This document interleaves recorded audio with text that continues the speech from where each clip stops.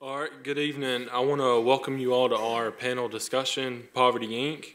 During this panel, we will discuss some of the realities of poverty in the developing world. My name is Levi Wright, and I'm the president of Enactus in the School of Business. Um, Enactus is a entrepreneurship and servant leadership organization. Um, one of the key goals of our organization is to create sustainable and impactful change in our community. Enactus is a worldwide organization that aims to do this in communities all over the world. Last November, we met for our Fall Leadership Conference in Atlanta. Enactus teams from our entire southeastern region gathered for team building and project discussions. During our conference, our keynote session was viewing of the film Poverty Inc. In, in this film, it showed how first world countries such as the United States and Britain have created an industry out of perpetual poverty in developing third world countries. The film talked about how aid and charity can sometimes do more bad to a local economy in these countries than the good we intend. So, without further ado, I'd like to introduce you to our panel tonight. First up is Dr. Philip Smedra, who has been with us since 2001. Before joining us, he was an economic analyst for the U.S. Department of Agriculture for 10 years, working on agricultural productivity issues both domestically and in the developing world. He took a two year leave of absence from the USDA to work in the Peace Corps, where he worked on agricultural development issues as an analyst for the Ministry of Agriculture in Morocco, working with American consulting firms under contract to USAID. He left USDA to become a teacher in 1996 and spent four years at the University of South Pacific in Fiji. Wow, right? During that time, his research work has, was focused on the health impacts of pesticide use in Fiji agriculture. Since then, his research work has been devoted to lifestyle illnesses, particularly diabetes, and their economic impact on the South Pacific region. Next, next is Dr. Brian Smith. He's worked for the History and Political Science Department here on campus since 2007. He receives, received his MA and PhD in Political Science from Brown University. He teaches courses in international politics, comparative politics, and the core American government class. His research interests include political legitimacy, nationalism, party systems in weak democracies, genocide, and American foreign policy. Next on the panel is Dr. Joseph Camo. He is an assistant professor of sociology with GSW's Department of Psychology and Sociology. Dr. Camo holds a master's degree in educational leadership from Northern Arizona University and a PhD in sociology from the University of North Texas. His research interests include education, inequality, and race and ethnicity. Next on our panel is Ashton Goff. Ashton is from Thomasville, Georgia, and is a recent graduate from the School of Business Administration, our outstanding undergraduate of 2016, I might add. She was part of our GSW Enactus national presentation team for three years and is a proud Kappa Delta alumna. She has worked in poverty in Central and South America before and is currently employed by a private adoption agency that works in 10 different countries. Next on our panel is Dr. Suzanne. It's been a long day, guys. Next on our panel is Dr. Suzanne Connor. She joined us at the School of Business Administration as a marketing professor in 2015. She received her PhD in 2012 from New Mexico State University and is taught at the American University in Dubai as well as the University of Northern Colorado. Her research interests include social marketing, sustainability, ethics, and consumer behavior. Our moderator this evening is from Moultrie, Georgia. She served as our student government president last year and is also a proud Enactus alumna herself. She graduated with a degree in human resource management and is currently employed with the Georgia 4-H in Peach County as their AmeriCorps state member. Please welcome Samantha Price.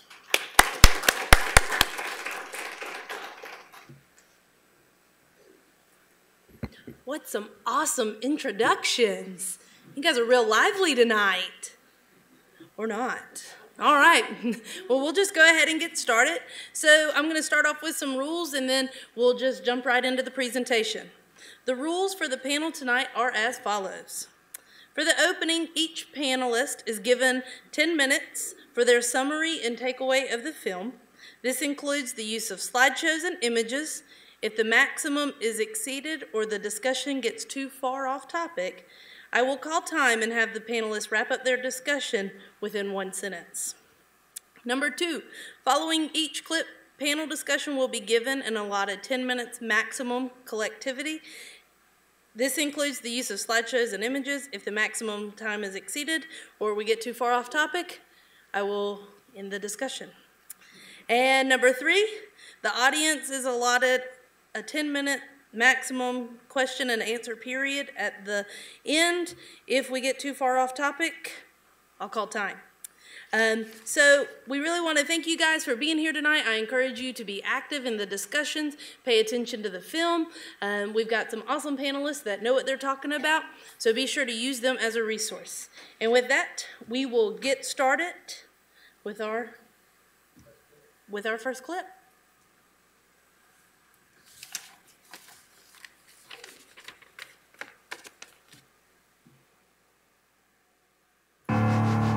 Machiavelli said, the reason there will be no change is because the people who stand to lose from change have all the power. And the people who stand to gain from change have none of the power. That's describing the global aid system today. I'm glad people want to help. It comes from a good heart. People give us food, they dig us wells, they bring us shoes, they encourage others to give. We're going to make poverty history. The problem is, it does not work. The foreign aid amounted to a huge subsidy, hundreds of millions of dollars. TOMS Shoes found the right model that captured this love of people who want to be generous and helpful. Our donations have an unpredictable impact on the local economy. Why would you go buy something? It's for free. Emergency disaster relief has become the permanent model. After 40 years, if you're still here, there's a problem. What happened to our cotton farms? That's all gone because of the negative impact of the imports at a second-hand level. We rich countries that produce a lot of food should sell it to poor countries. It has not worked. It actually created more poverty. We don't need one more celebrity doing one more campaign. What we need is to no longer be excluded. No one wants to be a beggar for life. I know about countries that developed on trade and innovation and business. I don't know of any country that got so much aid they suddenly became a first world country. If you really want to help the poverty industry as we know it, has to go. The sooner we tell a beautiful story about the African entrepreneur doing amazing work, then we will begin to shift mindsets. They're not desolate. They have hope. They have a way to get out of it. There's a way to fix it. When you do something, you can see the impact on the population and you can say, this is because of me. But having a heart for the poor isn't hard, but having a mind for the poor, that's the challenge.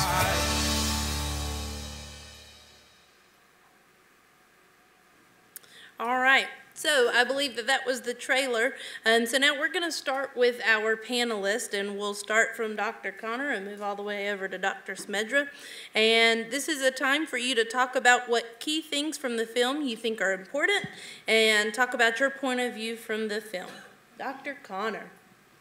Okay, first of all, poverty is a problem. We all know that. It's a problem not only in the United States, but around the world. A lot of us don't realize how much poverty is actually in our backyard.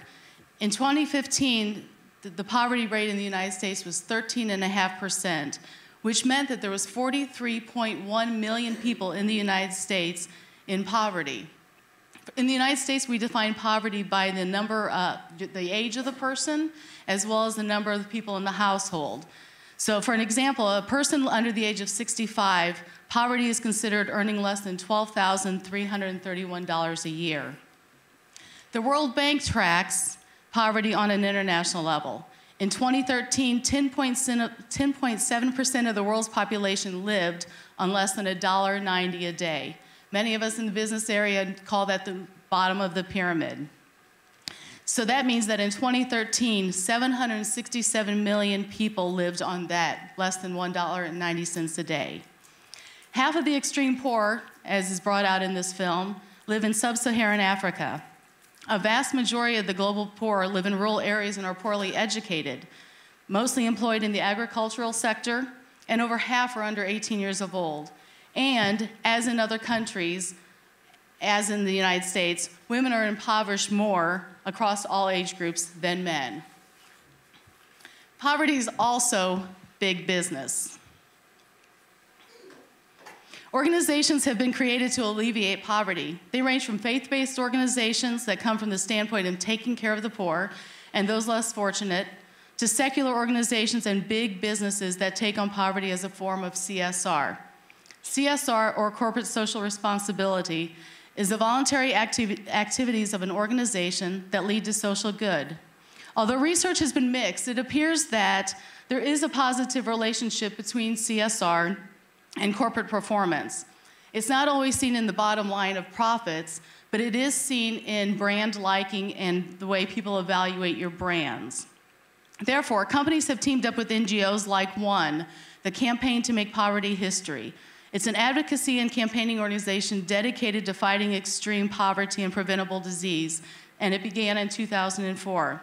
The RED campaign that most of you are familiar about with um, has teamed up with places like Target, Apple, Bank of America, where when you buy something that happens to be a red product, a part of that money is given back to this organization.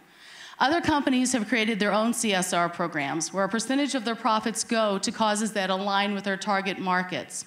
Others, such as TOMS Shoes, that's shown in the film, have based their whole development of their, their business on a protocol of giving one pair of shoe, one pair of shoes to someone when you buy a pair of shoes. This has been very successful for them. And there's other companies that have similar programs in place. From a marketing perspective, helping others can help your business.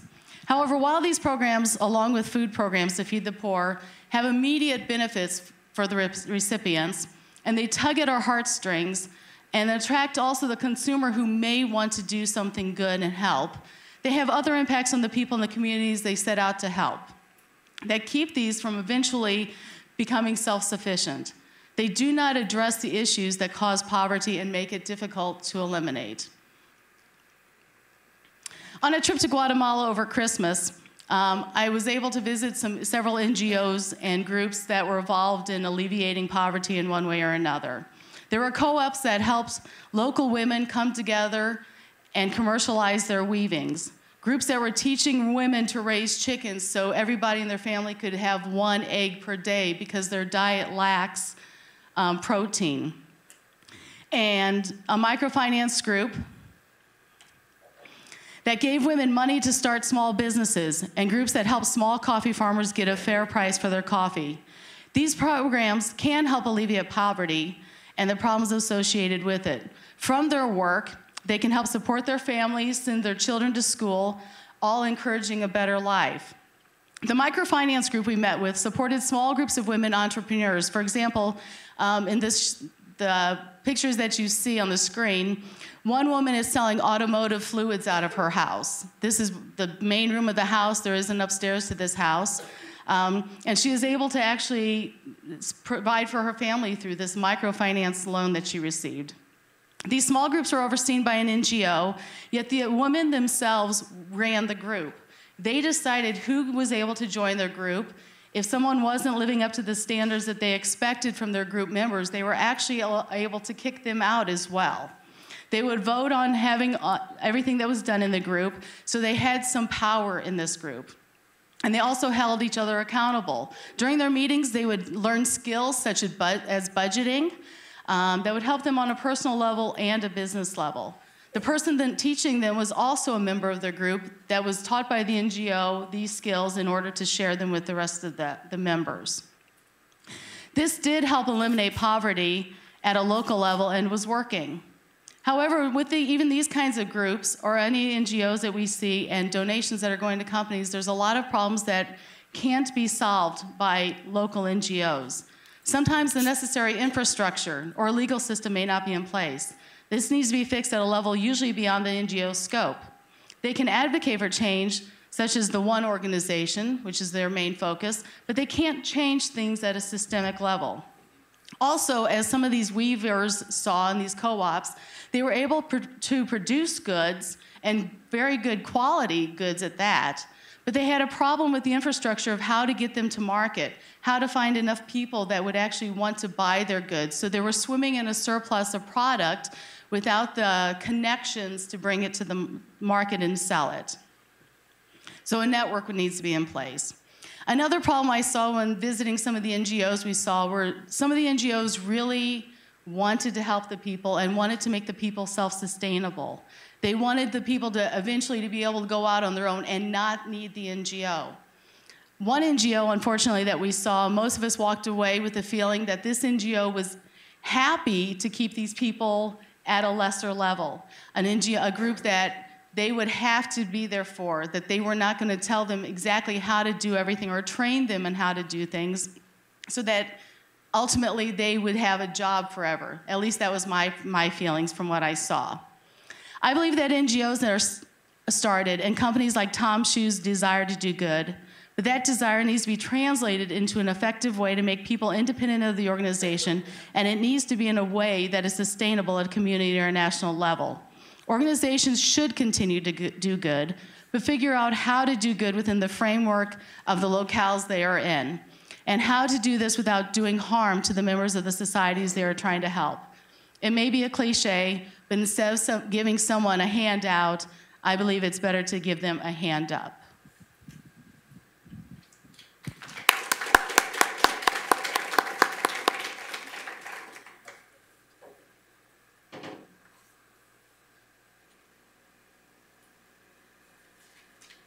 Um, well, I just want to talk a little bit about from the perspective of a millennial and how this is applicable to us in our generation. Um, as millennials, we're more connected than any generation has ever been through social media, internet, um, and technological advances. So we're also more aware of the problems in the world than any generation before us has been. Um, one of my favorite quotes from the documentary, and they um, showed it in the trailer, was that anyone can have a heart for the poor, but we need more minds for the poor. Compassion and a drive to be the change that we want to see is not in short demand. Our generation has a stronger desire than ever to be a part of something bigger than ourselves and really make a difference in the world. But if we aren't careful, we can end up wasting our efforts, resources, and time. Some of the questions that we need to ask ourselves before we try to save the world are what are my motives for doing this? Am I providing a sustainable solution for a permanent problem? Um, will I one day be able to take my hands out of this project and see it carry on without me? A lot of times, through the current initiatives that we're trying to be a part of, we're putting a band aid on a deeper issue. Um, there's still, you know, a deep wound there that we're just covering up with a quick mission trip or, you know, throwing $20 at an organization what we really need to be looking at is how these organizations are taking the resources that we're giving them and how they're using them specifically. A lot of the organizations that we're supporting are focusing on things such as awareness and things like that that are wonderful but they're never going to solve the problem. Um, looking at applicable programs, such as, just for example, Compassion International, they're equipping children and local workers in those countries. Um, you're able to personally sponsor a child, and that through that sponsorship, that child is able to go to school, receive an education, learn about hygiene and skills that can be used in the workforce later on. They're also employing local citizens in those countries to be running these organizations. That's something where your money is going directly to solve the problem. Um, something that I also like that they talked about in the film was basically how the way that we treat disaster relief can't be the way that we treat the problem permanently. Um, development has to be a growth. It can't just be start and finish. Um, for instance, when a child is born, an infant obviously has to be fed. Um, over time, though, you have to teach that child how to feed themselves, how to do things on their own, and become less dependent. If we're constantly spoon feeding, we can't do that forever. Um, eventually, we're going to run out of people to take care of other people. So, really teaching these people kind of how to not necessarily just give them fish, but teaching them how to fish and how to provide for themselves is something that's so crucial.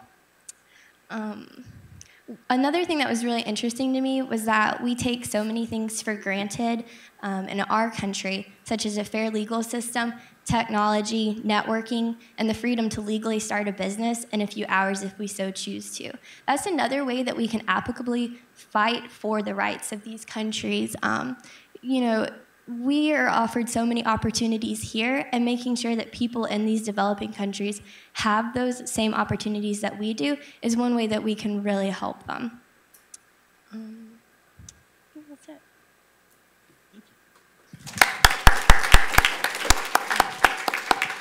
I'm going to go quickly because I don't want to get on uh, Sam's bad side, so I'm going to move quickly.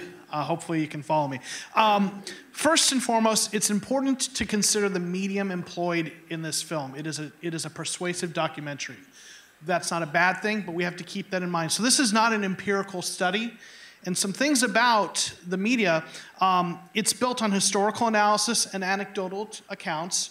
Um, from, a, from an empirical research perspective, I would tend to call those kind of qualitative evidence, which, which is fine, but there's some things about this type of evidence. Um, they have what we would call in research high validity. It tells us a lot of rich information, but uh, the reliability is low. The, the data, or the I should say, the uh, evidence is not necessarily generalizable based on the nature of the evidence.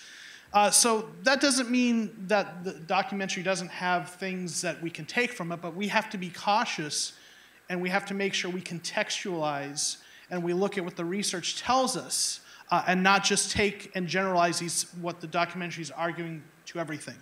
Um, so, some things to keep in mind uh, along those lines. Uh, aid takes a lot of different forms grants, subsidized loans, bilateral assistance given directly from one government to another, private voluntary assistance, charitable organizations, and social entrepreneurship. Uh, with that also noted, aid tends to have one of four objectives. If you look at the literature, uh, an article in 2006 identified these four objectives uh, to stimulate economic growth through building infrastructure, supporting productive sectors such as agriculture, or bringing new ideas and technologies. Two, to strengthen education, health, environmental, or political systems. Three, to support subsistence consumption of food and other commodities, especially during relief operations or humanitarian crises. Or four, to help stabilize an economy following economic shock. Now, when you look at the film, it tends to focus more on three and some of four uh, initiatives aimed at number four that maybe overstayed their welcome, stayed a little too long, with only minimal discussions of the other forms of aid. Uh, there are a couple exceptions that stand out to me when watching the film, and if you haven't seen it, these may not mean much to you, but if you have, uh, they talked about the social engineering efforts in Haiti. Uh, a lot of different things that were done um, that didn't work out, right? And then there was another example of a European software company that persuaded their own government to offer aid to, a, to Ghana in order, uh, or under the stipulation that that European software company would get the contract. And then uh, the, the Ghana, uh, the, the owner of the uh, software company in Ghana talks about how he was capable, his company was perfectly capable to do the job, didn't get it, and in the end was a subcontractor for the European company doing the least desirable parts. Now, None of this is actually new information, though, um, because when you look at the research, and I'm showing one example, uh, or one, citing one source here, um, the literature already tells us that there are some problems with certain types of aid. And the examples I just mentioned, and the overall example talking about continued food aid to countries, all these are kind of covered in these three categories that the literature already knew were ineffective. Uh, the three kinds identified were um, tied aid, uh, aid that is tied to a stipulation that you purchase certain products or engage, uh, enter into certain contracts or fulfill certain obligations. Uh, the literature, and this article was from 2008, years before the film. Literature already told us that there was that this was an ineffective form, tied aid. Food aid, literature already told us that. Uh, and then uh, what they call technical assistance. This is essentially uh, um, hiring consultants. What ends up happening is the aid goes into the bank accounts of the consultants from the wealthy countries. Um, so, you know, the big issue is food aid. The research already told us that. These other two examples, you know, the, the Ghana, uh, the software company, that was a, a prime example of tied aid. So we kind of already knew this. Now, the, aid, or the, the, the film only briefly discusses aid that's aimed at education, things like clean water infrastructure. Um, and in fact, it does, the, the few mentions, uh, some of them are actually positive. One of the, uh, the Haitian entrepreneurs talks about uh, efforts to train entrepreneurs and, and, and laborers that are actually positive steps. So the point I'm making here is obviously the film doesn't cover everything. It's, it's addressing certain issues that are indeed problematic, but if you're a persuasive documentary, of course you're going to pick the examples that support your argument. And if you're, but if you're an empirical study, a book, an academic book on the subject, you're going to look at all of those examples.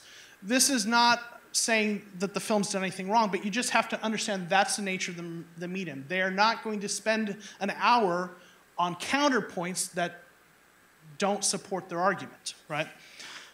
So there's, a, there's some problems that have to do with the structure of how aid is uh, funded and administered. Um, systems of aid tend to often are developed top down. Um, some organization says, this is what we're going to do. We go in, we have this program, we're going to implement it, and there's not feedback from the local constituencies involved in developing those programs. And that's one of the key problems. Uh, you saw the, the gentleman who uh, built, had a company that built the solar powered lights, right? Uh, and then you have uh, relief efforts, aid efforts coming in, undercutting his business and not taking into account, hey, you're putting a business out of business, or, you know, or potentially. Um, so that's one of the problems uh, with it, is that top-down model. Another problem is this dependence on a consumerist model for private charitable givings.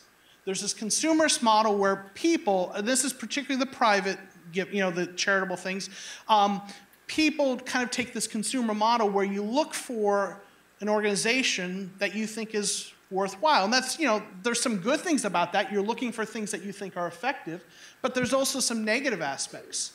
Part of it has to do with the fact that you may favor something that seems immediately effective I'm going to, you know, give $20 a month to feed that child with that picture that I can put on my refrigerator that reminds me of what a good job I'm doing every month. Um, it's immediately effective. I think I'm feeding that kid. I hope. I'm trusting that I am. But it's not long term effective necessarily because it's feeding into the same problem that the film talks about this continual food aid instead of building up the economy. Uh, second problem with that is people will be drawn to things that are novel that was one of the appeals of Tom's. It was very novel. Buy one pair, send one pair. Well, the best, uh, sometimes the best answers aren't so novel. Sometimes it involves sending someone somewhere, letting them spend a couple years learning what's going on there, and then making decisions about what is needed in a particular community that will not disrupt the local businesses.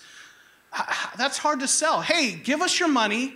Uh, we can't tell you what we're going to do, but a couple years down the road, we're going to have a great plan. It'll be the best plan, right? Uh, you know, that, that doesn't, that's not novel enough and doesn't sell easily. So that's one of the problems. Another problem is that, the, that survival of organizations is a goal in and of itself. If you have an organization, you have people who have salaries and, and so on and so forth who work for that organization, and if they have a particular mission that they've established, even if it's not necessarily effective or if it is no longer necessary, you have people who are trying to maintain the viability of the organization, so they'll keep plugging away even if it's not necessarily effective. And finally, uh, one of the other key issues is there's a lack of transparency by aid organizations. One of the things I encountered when reading some of the research on aid uh, by, by researchers was we had a hard time getting data. We couldn't find data on uh, effectiveness. So there's a lack of transparency. One minute. Okay, one minute, thank you. Uh, I told you I had to go fast. All right, so it's difficult to evaluate the effectiveness of uh, aid in addressing poverty. Um, there's so many intervening factors. The, the, the data are too noisy. Um, you could have a situation where uh, aid was effective, but poverty still increased because of other things, but maybe that aid ended up being like a, a life raft that kept it from being worse than it could have. It's just hard to tell. But overall, the research does seem to suggest that uh, aid has been successful in some countries, but not others. And there's, generally speaking, is a positive relationship between aid and growth. So here's my, my uh, kind of suggestions. I think things we, that need to happen. Uh, and I kind of talked about this. You need to do something about the top down. You need to have more input from local constituencies. Uh, you need to, we need to get away from the consumerist model, and people need to have a more sophisticated understanding of what is effective, that it does involve uh, not necessarily what's novel and uh, seems effective in the short run, but what's actually effective in the long run. Um, we need to organizations. That's this is a tough one. You dismantle organizations. Hopefully, they would no longer be uh, if if they took more input from the local constituencies. They would be viable and that issue of kind of the organizational survival as a goal isn't a problem.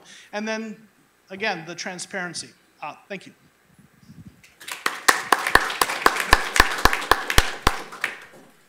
Um, I find myself in an awkward position of having to give a response to a documentary that I'm pretty sure most of you haven't seen.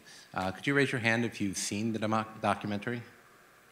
So, like, uh, maybe a dozen people here. So, um, I can tell you that uh, the subtitle of the documentary is uh, poverty is big business, uh, who, about who profits the most or something like that. Uh, and, but it's asking the question, who is profiting uh, uh from all this aid?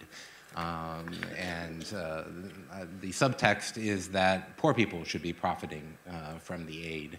And the answer in the documentary is that aid organizations are profiting from that aid. And I think that's completely wrong. Um, I think uh, certainly these aid organizations uh, have a uh, desire to continue to exist. Um, the, uh, as was just mentioned. Um, but if I was to answer that question uh, for the United States, who was profiting the most from USAID and USDA's uh, aid programs, I would say that would be ADM and Cargill uh, big agribusinesses uh, are profiting the most uh, from our aid uh, because that's who profits from that aid. Uh, same can be said for various commercial banks when it comes to various democracy or, promotion organizations, which is also a hundreds of millions of dollars per year operation. Uh, uh, USAID and uh, agricultural giving. This food giving is not about making sure that uh, poor people have food to eat. It's about dealing with agricultural surpluses in the United States uh, and the use of American tax dollars to subsidize that agricultural uh, uh production, and they admit it. Um, so I think the documentary does get that wrong. Uh, what uh, the documentary absolutely does get right, but isn't particularly new, as economists have been screaming about for decades, is that certainly aid has a serious distorting effect upon local markets. Uh, that's inevitable. Lots of things have distorting effects on local markets. Um, aid happens to be one of those things. Uh, and that's also not necessarily unknown to the people who are creating those policies. Uh, the United States uh, has a long history of intentionally distorting those markets uh, to the benefit of American business. I mean, it's not shouldn't be too much of a surprise that America pursues its own interest, and it has. Um, however, the tone of the documentary, I think, is uh, what I would have the most objection to. If you sat down and watched the whole thing, rather than the selected clips uh, that will be provided for you tonight, what you get is a little bit of the tone that was mentioned earlier, which is essentially Uh, what we need to do is get these aid organizations out of the way. Um, and if we can get these aid organizations out of the way, then people can pull themselves up by their own bootstraps. Local entrepreneurs will be able to start growing their economies, et cetera, if only we could get these aid organizations out of the way. That is the tone uh, of the entire documentary, and it is a persuasive documentary. It's what it's attempting to do. It's trying to persuade you about that. Um, and they are right to the fact that you know, there are bad aid organizations out there. There are even, in fact, uh, uh, criminally negligent aid organizations. There are some great scandals related to aid organizations, but for the most part, most aid organizations just like to continue to, to exist, certainly. But the political pressure to keep those aid organizations going is from the giant commercial bank, international commercial banks, and the uh, various agribusinesses that are behind the aid that actually profit off of it. Um, I have, want to say two things about why I think the tone is wrong, uh, about how uh, the idea that if the aid organization simply got out of the way, all these poor people would suddenly no longer be poor. Uh, that poverty be, could be solved. Uh, that aid uh, uh, like this is what's getting in the way of poor people solving their own problems. You know, they teach the person to fish, the, the, the hand up instead of the hand out type of tone. Um, the first is the fact that uh, there's very little in the sense of context provided for the poverty that's shown in the documentary. They just show us some poverty and they show us aid organizations interacting with that poverty, and they provide us absolutely no context whatsoever. Uh, there's no local political context, there's no international political context, and there's certainly no local economic context given, and there's no international economic context given. They just don't give any of the context involved. Uh, they spend a lot of time on Haiti as was mentioned. Um, a particular case from the 1990s and a particular one aid program during the 1990s that was reacting to a particular disaster, and they showed the distorting effect on the local economy of that aid and how that uh, was not helping poor people there uh, to get out of poverty. Well, what it's missing is the centuries of poverty of those people. Um, what it's missing is the past century of American domination of Haiti. Uh, I mean, we invaded it 100 years ago, uh, ran it as a colony for a couple of decades uh, to keep, make sure the Germans didn't get it uh, and then left behind an installed dictator that made sure that American business interests uh, were the preeminent concern of the Haitian government, as well as a couple dozen uh, Haitian families. Uh, um, there, uh, in fact, a couple dozen Haitian families ran Haiti since its independence from the French. Uh, so, uh, and all of those people have every interest in making themselves wealthy and keeping themselves uh, uh, in power and have no interest in raising people out of poverty. Uh, it, in passing, mentioned Equatorial Guinea of all places and didn't even provide any context for it. Uh, Equatorial Guinea is one of the most corrupt places on this planet. Um, Equatorial Guinea is not going to solve poverty despite the fact that there are aid programs going there. If the aid programs go away tomorrow, there will be no chance for the poor to make themselves a better life. Uh, they don't mention President Obiang, who uh, uh, is a multi-billionaire as far as anybody's able to really figure out, and simply because ExxonMobil discovered oil off the coast of Equatorial Guinea, and ExxonMobil works with the president to uh, uh, essentially deliver all of the oil profits directly to his pocket. And so Equatorial Guinea has one of the highest per capita GDPs in sub-Saharan Africa. And the people of Equatorial Guinea, the vast masses of them, are desperately poor, some of the poorest on the entire planet. And whether or not aid organizations comes to Equatorial Guinea at all does not matter whatsoever because President Obiang actually has a self-interest in keeping everyone poor. That is true of most authoritarian states. There are plenty of authoritarian states all around the world that receive aid, and it is in the interests of the authoritarian states to not empower the poor people of their country because then they may lose their positions of wealth, power, and influence. This is the political context I'm talking about. Um, to say nothing of simply the power and influence of international uh, corporations and banks who have uh, very explicit interests uh, in pursuing their own self-interest. Uh, if Tom, shoe, uh, you know, we talk, they talked about the distorting effect of TOMS shoes on a local shoemaker. Um, as if that one man could have uh, provided shoes to all the poor people who didn't have shoes, proof is that he couldn't that they didn't have shoes. They couldn't afford to buy his shoes. That's why they didn't have shoes. And if nike saw a market they would have come along and provided shoes cheaper than he ever could. And that's just international trade. That's the broader context i'm talking about uh, and is absolutely not provided in this documentary even though they do uh, briefly in passing mention the rule of law. And i think there will be a clip uh, uh talking about the rule of law and the documentary just questions why is the rule of law not working in this country? Well, that's because the wealthy can uh, take advantage of that fact. They, you know, they don't want competition. They don't want power to the poor. Uh, they don't want to uh, uh raise their influence in their system. Uh, and so, uh, the, again, I'll just finish by saying the overall tone is for this documentary if it wasn't for these nasty aid organizations and the silly musicians uh, telling you that you should give to those aid organizations, if those people would just get out of the way, then everyone in the world who's making living on less than two dollars purchasing power parity a day could pull themselves up by their bootstraps. And no, it's not going to suddenly solve poverty. Aid doesn't solve poverty. Aid just might feed a few people.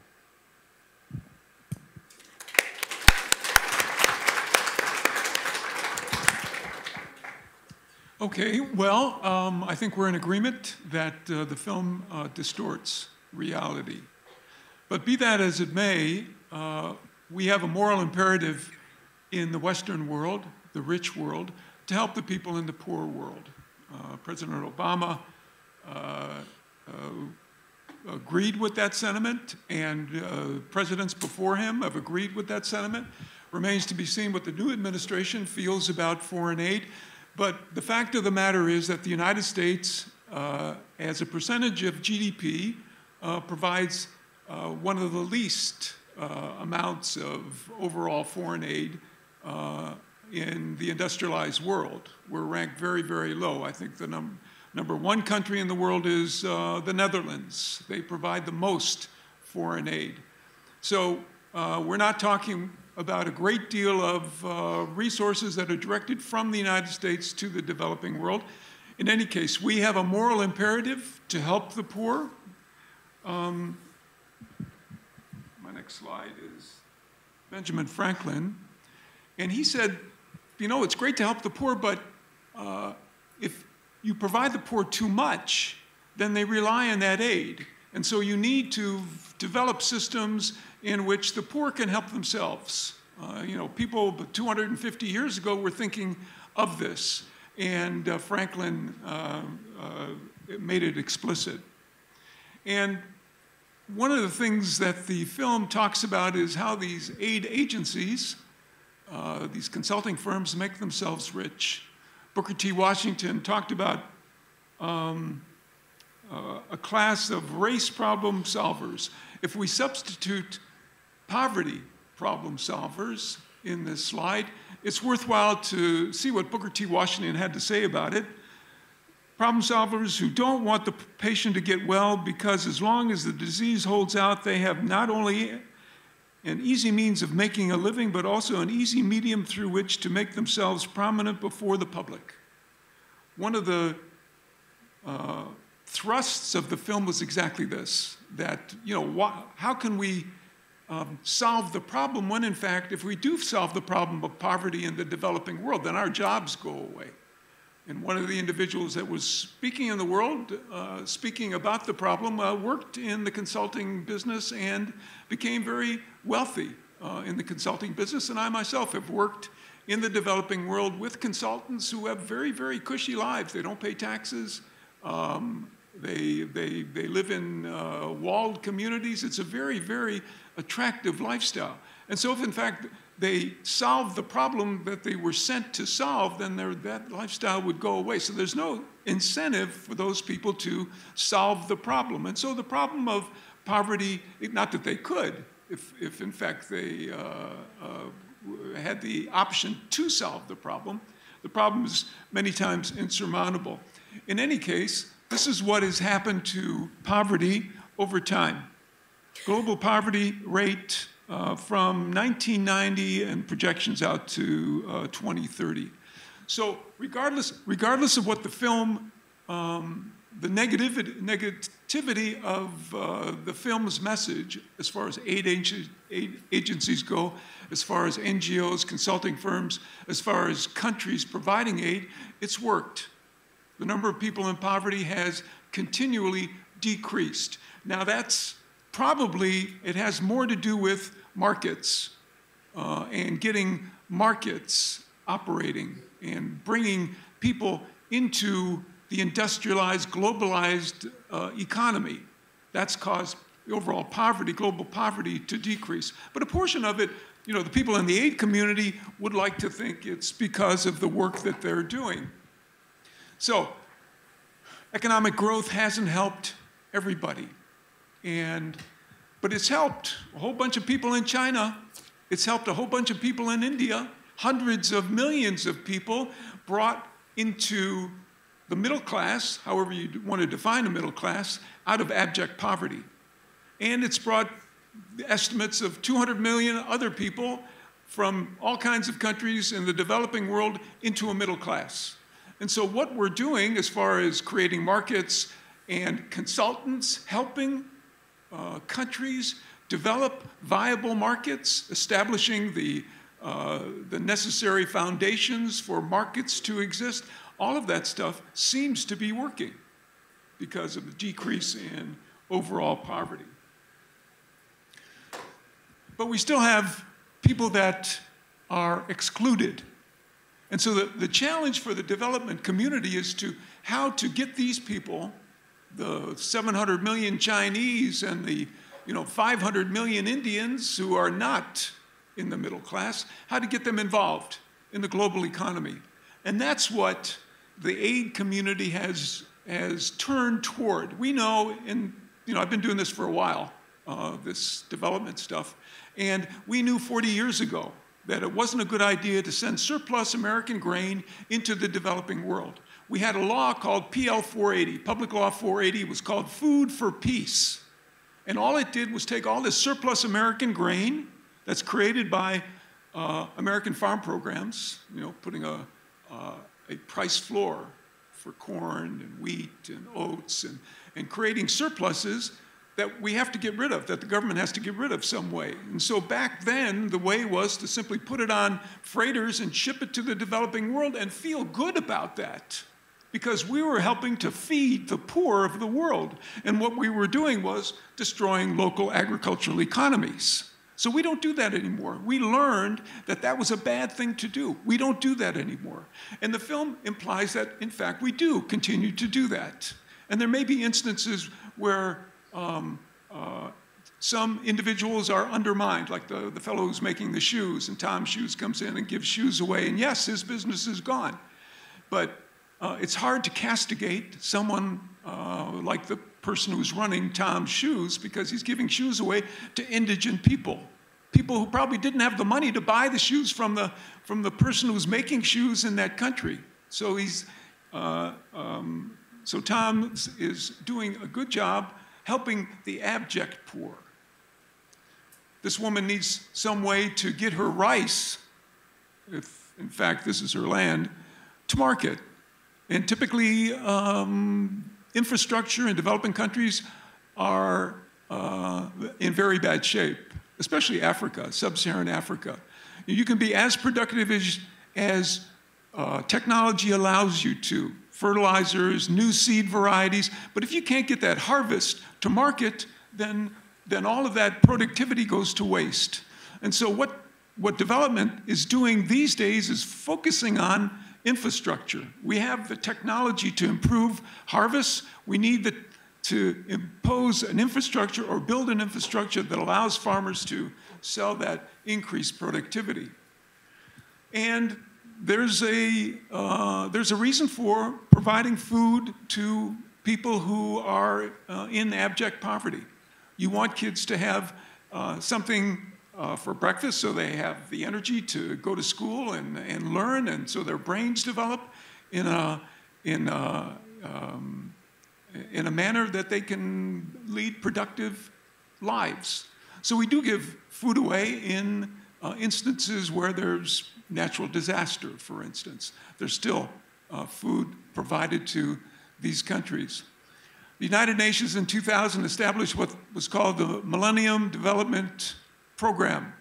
And this was to eliminate poverty, uh, a great deal of poverty by the year 2015. And then, of course, poverty was not eliminated in the developing world. And so now they've done uh, the MDG uh, Millennium Development Goals for 2030, uh, which have worked.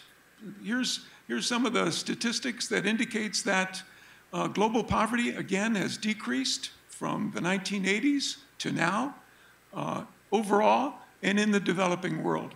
And so this focus on helping the abject poor all over the world has in fact worked. And the film gives the impression that uh, what's happening is that people in NGOs and in the development community, community are, are helping, are profiting from uh, the, the money that's available to provide aid uh, without any impact on local communities. We just had a Super Bowl. If we could harness the enthusiasm, the excitement, the energy that people put out for a freaking football game and, and direct that toward helping the global poor, then a lot more would get done in the world. And you know, you folks are starting your careers, you ought to think about our fellow travelers on this globe, people who share the same uh, contemporary life with you. Uh, and I, am afraid that most people, especially in the developing world, don't think about those folks at all. You should think about those folks and think about what you can do to help end poverty. One minute. That's it. All right.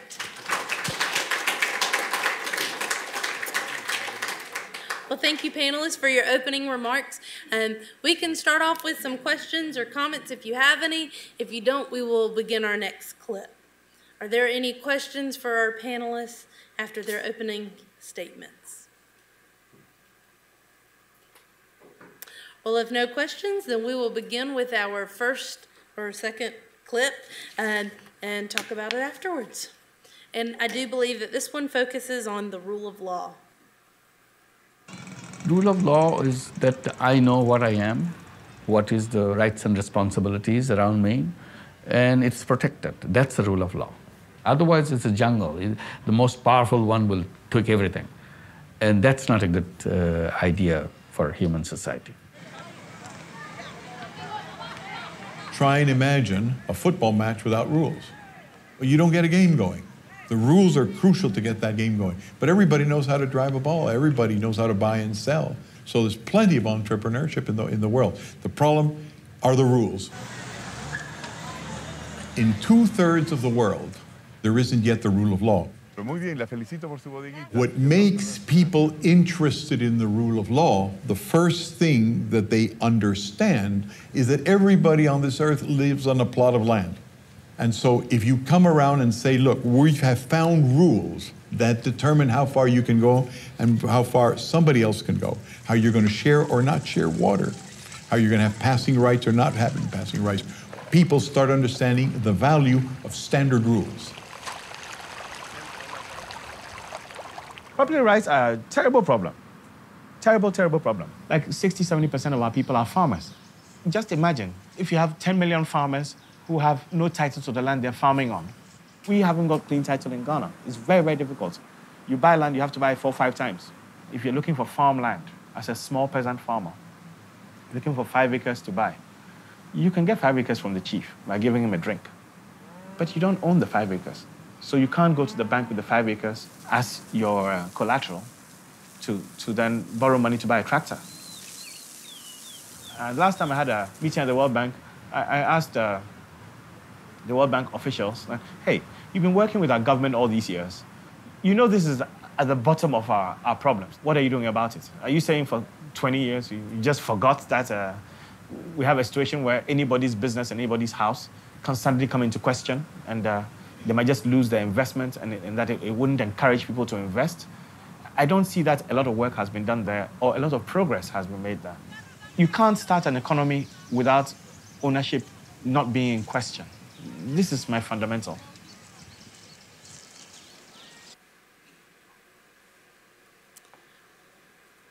All right. Um, so just a couple of reminders. I do want to, um, I think we're going to start with Dr. Smith on this because it is the rule of law. Surprise. Um, but just remember that it is going to be a 10 minute collective discussion between the panelists, and then we'll allot 10 minutes for um, the audience to ask questions or give comments. So just be reminded that may your peers may want to speak. Okay. Go ahead, Dr. Smith. Did you just want me to speak? You can, I think you were just speaking on what you thought about that little clip. Yes. sure. Uh, I've been instructed to just react. Um, Yes, just react. There you go. Uh, yeah, rule of law means everyone is treated the same, um, at least as far as the state is concerned. Uh, so that uh, one particular law doesn't apply differently to different people. The same process exists for different people. Um, respect for rights is equal across uh, uh, the spectrum of the society. Uh, and certainly the documentary is perfectly accurate that I would not describe the majority of the world as uh, having strong rule of law. Uh, I think that's absolutely accurate. Uh, the world is filled with countries that function off of patron-client networks. Uh, the idea that I have power, you don't have power, and so uh, in order for me to even just do my job, uh, you must somehow bribe me or uh, owe me favors just for me to do my job as some government official. that is really common. That's how countries run in many places in the world. Uh, so yeah, uh, the documentary on this point uh, was good and at least brought up the fact that uh, there are political and social structures present in countries that maintain uh, poverty. that broad in income inequality in these countries is systemic politically um, and not just a function of people feeling that entrepreneurship spirit. Um, it was, it, but the documentary doesn't really do anything with it. it. it. just sort of lays it out there briefly and moves on and doesn't really point to it that uh, that's a serious issue compared to the function of aid organizations. So. Thank you. Any other panelists have anything they'd like to say? Go for it.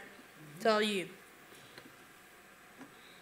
Well, as Dr. Smith mentioned, I don't think it's on. As Dr. Smith mentioned, um, most countries in, in the developing world are authoritarian. And uh, there are leaders there that have been in place for decades. And they're there be, in order to enhance their power and therefore enhance the, the, uh, the riches that they and their families uh, uh, can, can corrupt uh, from the system.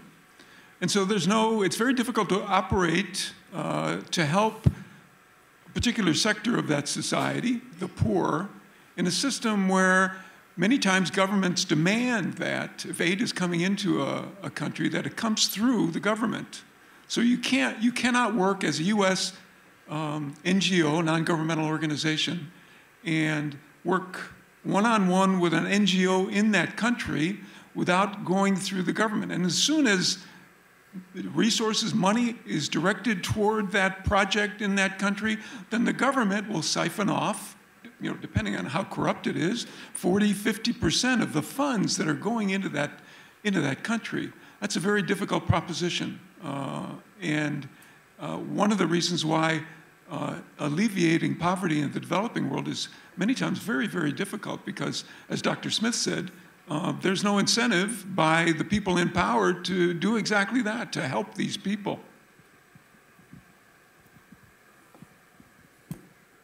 Any other panelists would like to make a remark to the clip? Don't worry, there's three more clips. okay. Are there any questions or comments from the audience?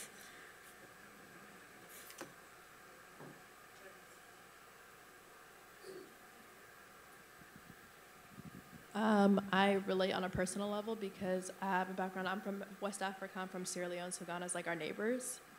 And so there is a huge problem with infrastructure, and you know there really is no government policy because you know like land is a free for all. Anybody can take land. Like you know, for example, if you get in a car accident, it's just your losses, and there's like there's really no infrastructure. There's no leg for people to stand on. And as soon as you go through the government, like you said, they start siphoning off, and like you know that money goes, and they're not doing anything to help the people. Like they want people to be in poverty, and they need people to be at the bottom of the totem pole.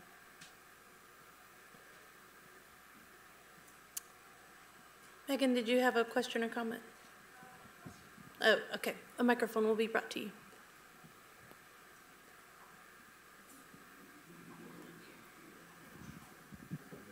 Um, so what I'm hearing a lot of is, you know, maybe the film didn't get it right. When it, personally, when I first saw the film, um, it opened my eyes to a lot of things I had not thought about. Um, I've never really crossed my mind how foreign aid could be something that um, wasn't a good thing. Um, so that was really opening my eyes. And I hear a lot of, well, it actually does help, or it doesn't. I, I feel like we're getting a lot of mixed reviews.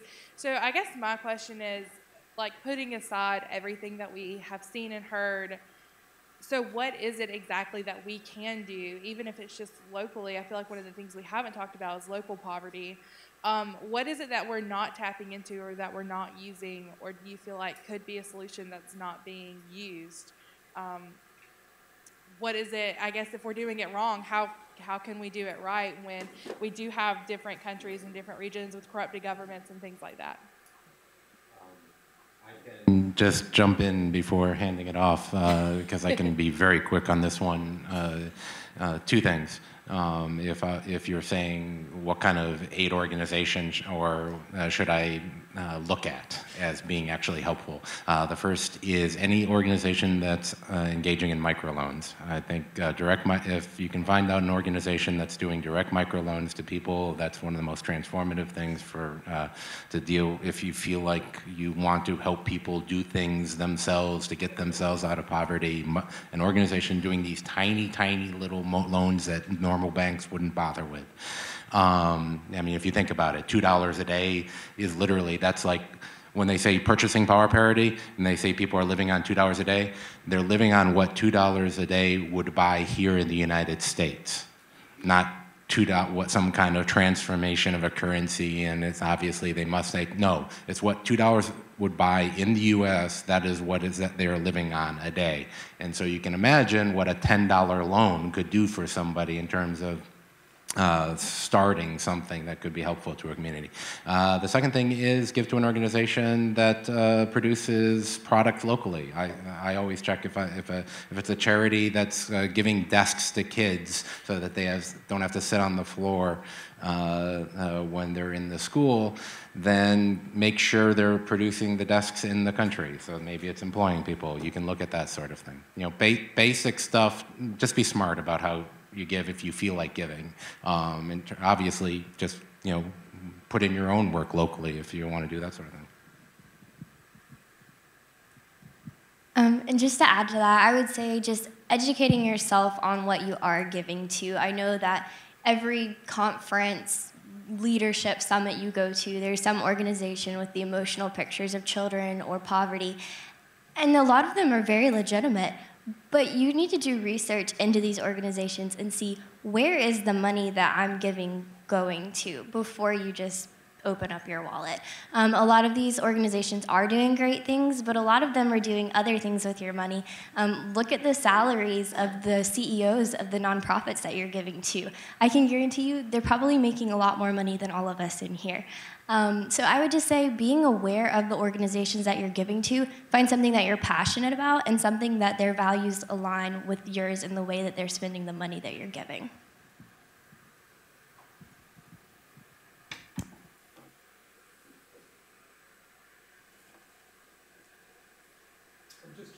Oh, wait, it's not on.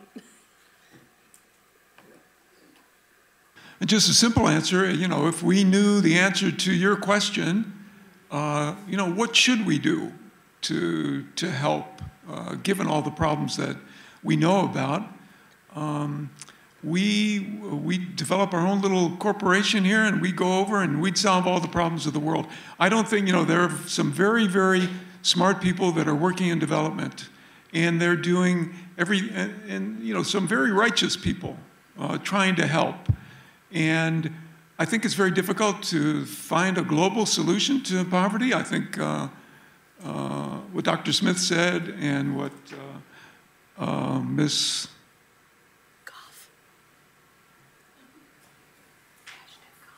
Goff.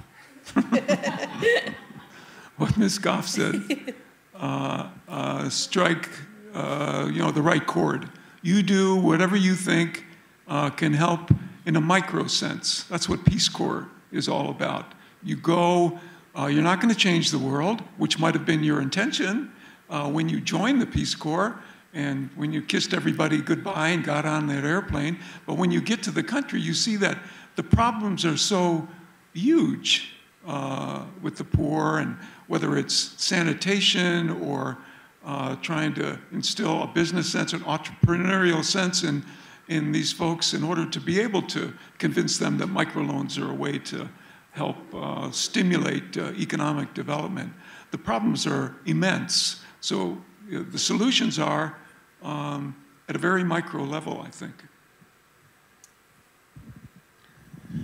what I hear in your question is this dilemma, right? Two different messages. Um, I'm a believer in this idea that if there are two people who have different views on something, in most, but not all cases, there's at least a nugget of truth on both sides, right? So, so what can we take from the film, even if we don't necessarily agree with everything? Well, there's a nugget of truth that there are some types of aid that are not effective. So, what we can do is try to look for aid uh, or opportunities to give to organizations that have a focus on empowerment and development in the local constituencies, uh, not just you know sending rice over. And um, so I, I, think maybe that's the nugget of truth you can take from this. But again, contextualize it into the broader awareness that uh, aid has been in many ways successful, and aid that's focused on infrastructure and development and microfinance and all the things that have been talked about are the more effective mechanisms. Uh, and just kind of use that as kind of your synthesis of the two messages, if that makes sense. I guess we're all going to weigh in on this one. Um, something that I think you should do, if, especially look locally. We all live in a community that is impoverished. I mean, if anybody was at the economic development luncheon today, there was a speaker from the state showing that we live in one of the poorest counties in the state and in the country. You know, we always think about, because of documentaries like this and because of ads and campaigns that go on. We see these pictures of these children in foreign countries, but we, we fail to look in our local backyard and see what we can do there. So I think that if we looked around and even just one on one helps a family, see what you can do to help them out. You know, not a handout maybe, but maybe sometimes it is just a handout. Maybe they need the next meal or whatever it is. But I think locally we can do a lot of good also. Another thing is with these NGOs, they have to file annual reports showing how their money is spent. You know, after looking at this documentary and that one campaign, in 2015, they spent $37.4 million internationally. What they did with this money is they didn't help feed anybody. They didn't bring anybody out of poverty. $37.4 million went to raising awareness about poverty, raising awareness about AIDS. $31 million of that went to raising awareness. Well, I think in the developed world, we're pretty aware, because of all these campaigns, that things are going on, that there's stuff going on out there. Then they had $5 million, just over $5 million, go to salaries and management to run the operation. And then the rest of their money for last year, or in 2015, almost $2 million went to fundraising. Nothing in their campaigns that I could find in their annual report and stuff actually went to feeding someone, teaching someone how to feed themselves, anything like that. It went to bringing about more awareness and raising more money. I personally have a problem with that. I don't think when we're supporting campaigns like the Red Campaign or whatever it is, I don't think we realize that. I think we're seeing it as something that goes out and helps people. So I think we need to really look when we get involved in organizations or we think about donating or whatever it is. I think we need to really look at what they're doing and see if we align with what they're doing. And, and they need to be transparent and accountable. Um, I also do agree that the microfinance thing, those seem to work. If you're a member of Kiva, you can start a Kiva. I mean, I, have been doing that since I think they started. You can donate $25. You can pick who it goes to. You can see the outcome of the money you're giving. These microfinance loans help people around the world. And they've um, definitely helped women entrepreneurs and families. Um, that's all. Okay. Well, thank you, and thank you for your questions. We do have a couple more minutes that we're going to watch more clips, so don't be afraid to ask questions.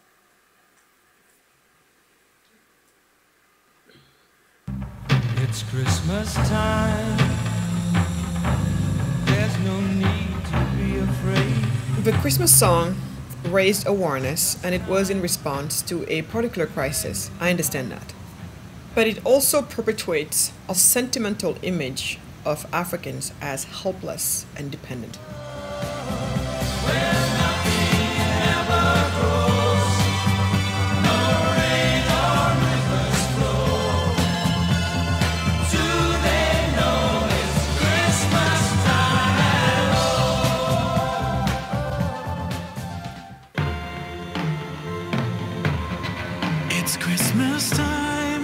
And here we are, a generation later, and the same song, the same images are back. And the Gleek generation are taking songs like Do They Know It's Christmas and reimagining them and rearranging them and, you know, doing their thing to them. And that gives new life to that idea. Makes me very happy indeed.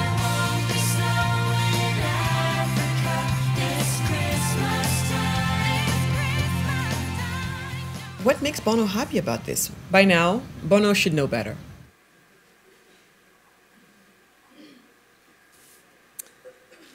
All right, so my note says that I'm supposed to ask the panel, what do you think about the song? And do any of you remember when it came out?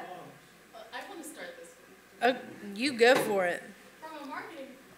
I'm a marketer, so from a marketing perspective, and I'm not answering whether I know when that came out. The Glee, yes, I do remember that. Um, from a marketing standpoint, I think it's brilliant. I mean, it's a catchy song. It's been stuck in my head since I watched the documentary, and every time I think about it, it gets stuck in my head. It gives you this idea, it makes you kind of feel good. It's got that good, you know, vibe to it and everything else, even though the message that they're sending is pretty sad. So it does, it gets you thinking. Unfortunately, with this, on the other side, is it gives you a perspective that, as the documentary says, all of Africa is dry. There's no rivers, there's nothing growing. That's way beyond the truth.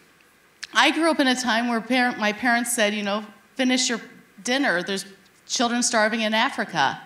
And then later, this comes out, and I'm like, if you don't know better, if you haven't traveled, if you don't explore the world around you, and all you do is watch television and commercials, you believe that these things are true. It's the farthest thing from the truth.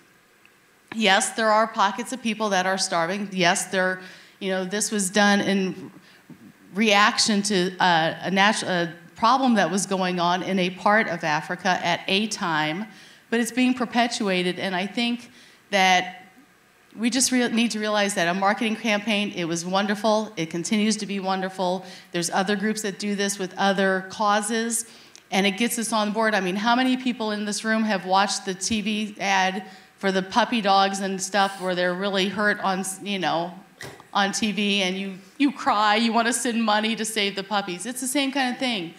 If we showed things that were not gut wrenching, or if they didn't talk about things being so bad, people wouldn't react. It wouldn't catch your attention. So these things are developed to catch our attention from a marketing perspective, to hook you, to get that in your gut where you make what makes you want to have it make a difference. But as a rational, educated student, we all need to look at this rationally and really do the research once again, or just think about it. Step back and think about what's the reality here instead of just playing into those evil marketers.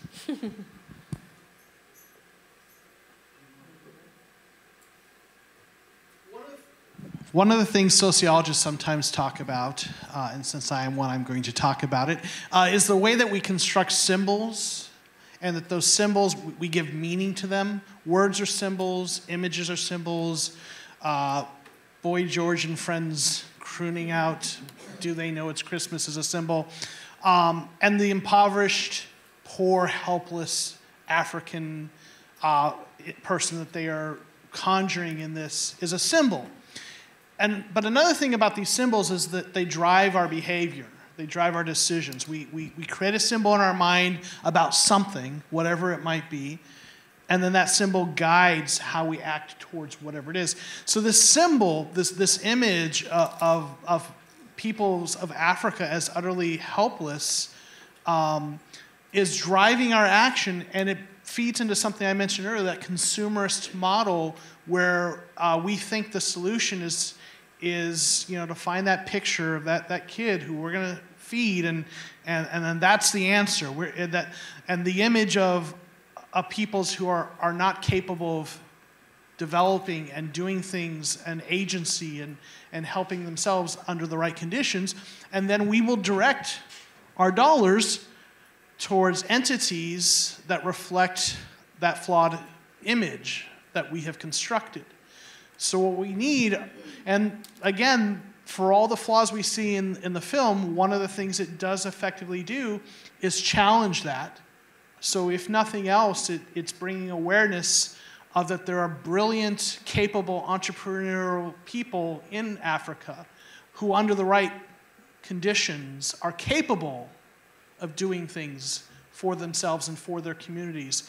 Um, so, the song and reimagining it reinforces and perpetuates that problematic image that we've constructed, which then drives our behaviors in the types of programs we might be prone to support.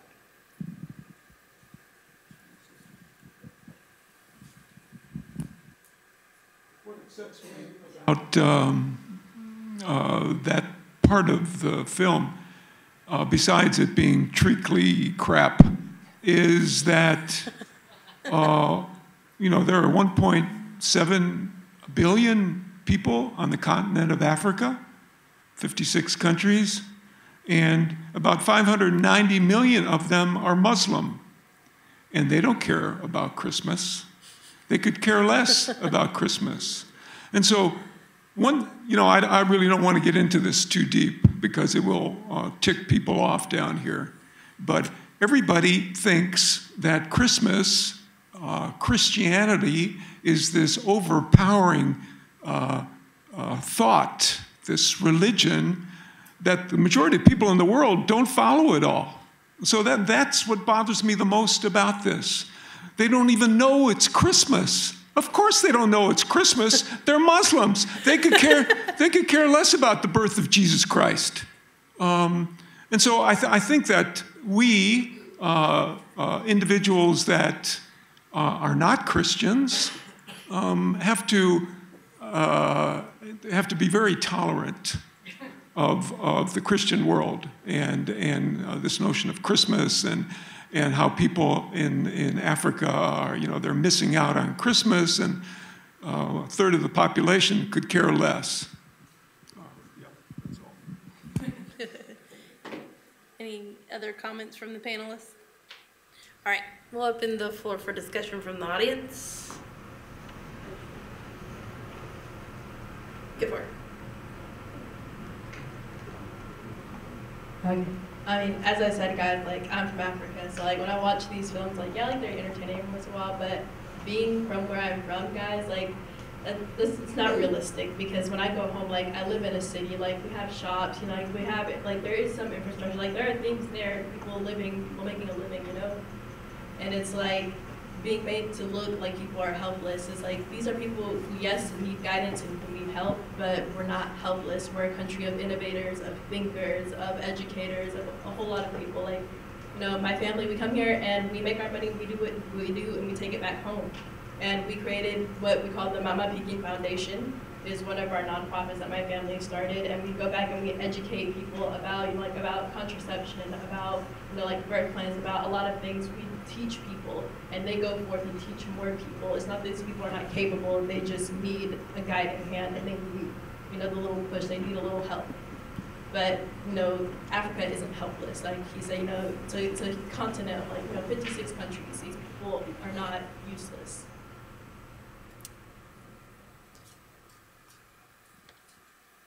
Hello, I'm actually wearing TOMS today, not because I like their business model, it's because I don't like socks. Anyways, I've been dwelling on four things recently. Like, I may have given a, a pair of shoes to somebody, but I did not teach them how to be a cobbler when those shoes break. Should we focus more on nature or nurture? Should we focus more on the, or refining the government or local community leaders? And should we worry about giving down or giving the third world our hand-me-downs or teaching them to innovate themselves? Because how I see it, the third world has barely has food and water. The second world has electricity, and the first world has the internet that they can view all the worlds through a little glowing screen. But how do we get to one world?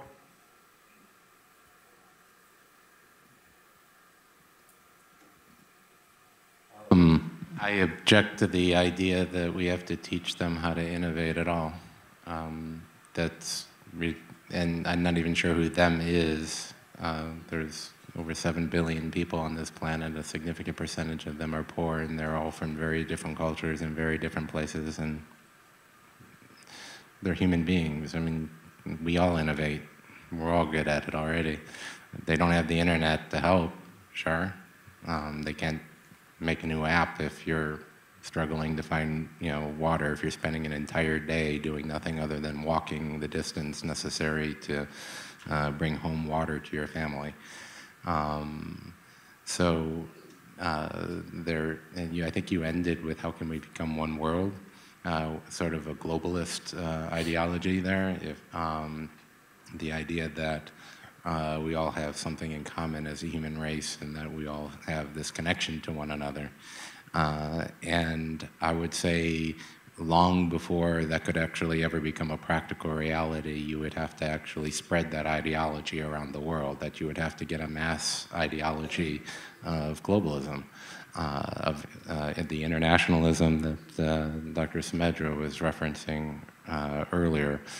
Um, and that hasn't happened yet in the history of the human race. Uh, and so maybe it will sometime in the distant future, but I don't think it'll have anything whatsoever to do with curing poverty or, uh, you know, uh, uh being able to uh, improve people's lives. I think that would change, a, it would require some very fundamental shifts in the way we view each other in our communities uh, you know, we, we tend to establish communities as human races and then see them and us and the outsider and, you know, the insider and uh, that's just the way humans behave so far. Uh, but uh, uh in the meantime, I think globalism is just going to remain sort of an elite ideology. Uh, but uh, no, we, we don't have to teach anyone how to innovate. You just need to give them you know, there are some people who need a well in their town so that they don't have to spend the entire day just walking to carry water, you know, back and forth. That's because that's what some women do in this world. They spend their entire day just bringing the family supply of water to, and that's all they do. And they don't have much time to innovate. Any other questions or comments?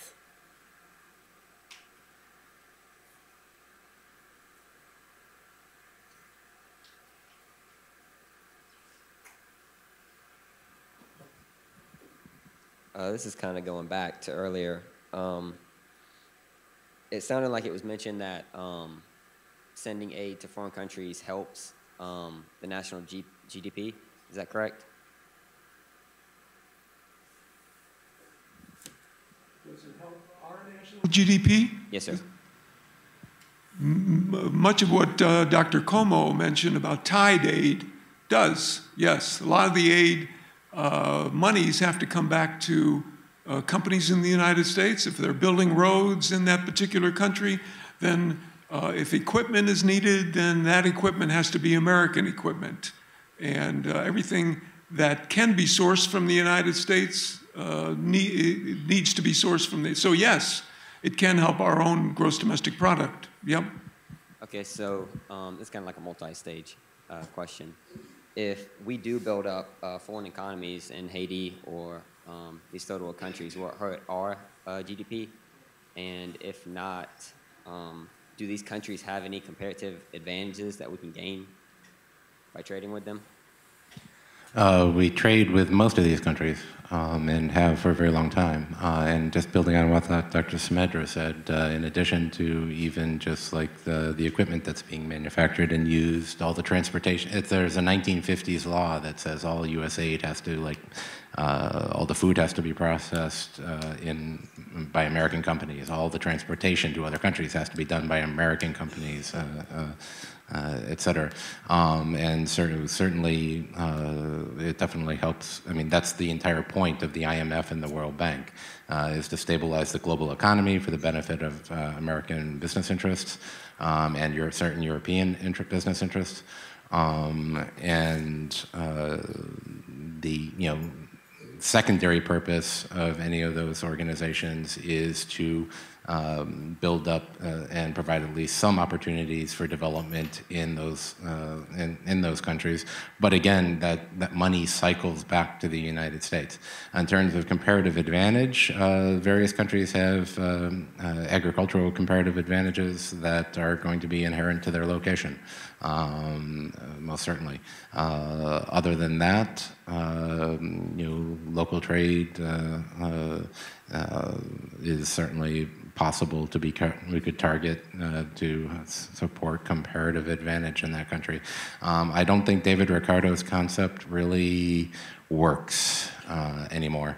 Um, I'm, a, I'm not sure where Dr. Sumedra uh, stands on it, but uh, then again, David Ricardo didn't believe it worked either for the current world, because uh, David Ricardo was fairly explicit that uh, the concept of comparative advantage uh, being causing benefits in trade requires in his equations. He, he, he stated this pretty clearly that if foreign, if business, if businesses were willing to invest their manufacturing in other countries, uh, then his model didn't work.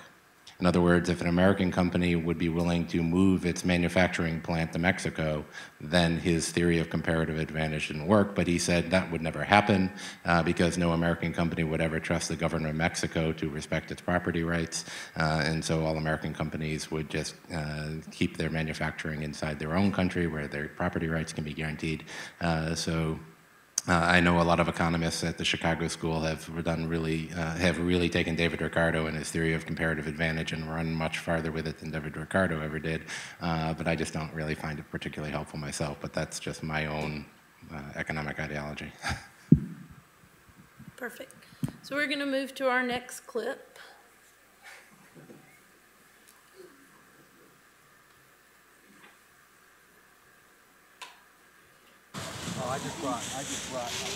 Growing up, the model that I saw was this model that we would have a shoe drive at church and we'd all give our excess shoes and then our shoes. We never knew what happened, but we knew that we were responding to this desire that we had to help the poor, the vulnerable. What I experienced living overseas, especially in Rwanda, was the end of the story. Uh, the collection, in some ways, is the easy part. The distribution is where there are a lot of complications. And I have my eyes open to this through a friendship with Jean. And Jean was a friend in Rwanda, and he told me the story that after the Rwandan genocide, that he had a church uh, from Atlanta that started sending over eggs and ended up just distributing eggs in his small community outside of Kigali. And this seems like a great thing to do, right? The church wanted to help after the genocide. But Jono, uh, a few years before, had started a small egg business himself he put this investment in all the materials that he needed to start this egg business. His business was starting to grow, it was starting to take off, and then all of a sudden, in one summer, there become this surplus of eggs that were flooding the market in his area. And so this desire that the church had to really take care of a need, it did take care of a need, but the problem is that it put Jono out of business. He ended up selling his hens, and then the next year the church decided to focus its attention to somewhere else in the world Jana was out of business. No one else was there providing eggs. And so they had to bring the eggs in from another community. So this desire to help in that community, uh, according to Jono, actually had a long-term negative impact on that community.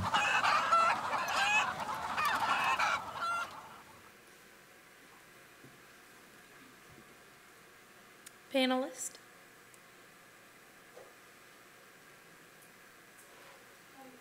First thing that I thought of when I saw this part of the documentary was that it goes back to showing how important sustainability is in our giving efforts, um, and that we're consistent in what we're giving making a commitment to feed a child or sponsor them and then dropping that commitment 12 months later because we decided it was more important to go on vacation or buy a new car isn't going to work. Um, that's why it goes to show how important it is that when we make these commitments, we're sticking to them. These people, it's not just a vacation or a new car to them, it was his business. Um, and I know that there's a lot more that goes into that, like we mentioned earlier. There's, you know, probably multiple people that are producing eggs in that area. But at the same time, it just shows again how important it is that when you make a commitment to foreign aid, that you stick to what you're doing. I think there's a, another very important message in that that is the local feedback. Um, again, you have an entity that says, This is what we're going to do from the other side of the globe to help and we do this, and we have no local awareness of the needs and the dynamics and the businesses in place. And we, we come in with a formula that we think works, and uh, we break a lot of eggs to make an omelet. That's a really bad pun and analogy, but you know, uh, you know, we, we, we make a big mistake, we do something, but we, we, we keep with it, uh, and then just totally disrupt the local economy. Uh, if you had someone who dedicated resources to go there and find out how can we help this community develop economically, you might have found that actually what you needed was not to send a bunch of eggs, but maybe to help this gentleman expand his business or help other people get into the business or who knows what, build roads, whatever it is. Uh, at the local level, though, they have a better understanding of that. Uh, so there's the, this danger of coming in with a program that that you've decided works from afar instead of going in, assessing, cooperating, and working with the local constituencies to find out what is going to be effective there.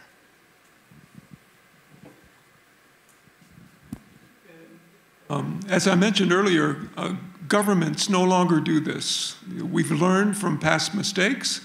Uh, donor countries no longer uh, provide free uh, grain or eggs or, you know, mention a commodity because we know that it undermines the agricultural economies. And all these countries are agricultural economies. That's what their, uh, what their economies are based on, agriculture. So we don't do it as a, as a nation any longer. And unfortunately, there are, you know, smaller entities like churches and other uh, giving agencies that haven't learned that uh, lesson, apparently. And so the lesson needs to be um, spread through uh, the church community, the, the people that actually continue to provide this kind of aid with, without the knowledge that uh, it's not really, you know, in the long term, it's not helping the community at all.